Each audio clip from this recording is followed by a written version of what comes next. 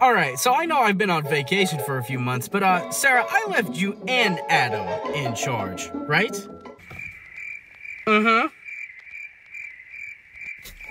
right. Mm-hmm. That. Uh huh. Yeah. So, question. Cause I don't see him.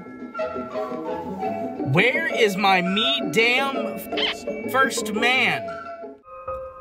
He's dead. Excuse me, Loot? Dead? Dead? Dead? How? How?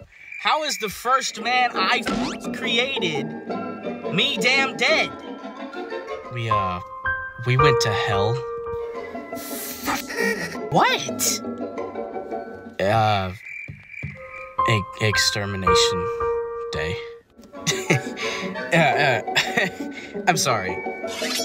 Extermination Day. You mean the one day out of the year that I, God, give you angels and exorcists one time out of the year on a specific day to go and me damn do when I me damn want you to do it.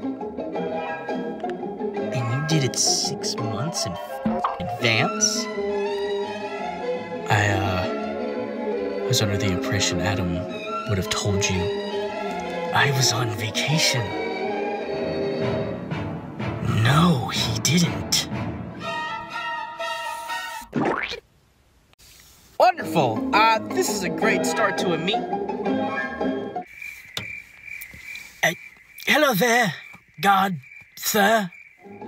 Does anyone want to explain why there's a me damn snake here in my, uh, in my meeting room? Oh, he's, uh, he's the first rehabilitated sinner. First what now? First rehabilitated sinner. Wow.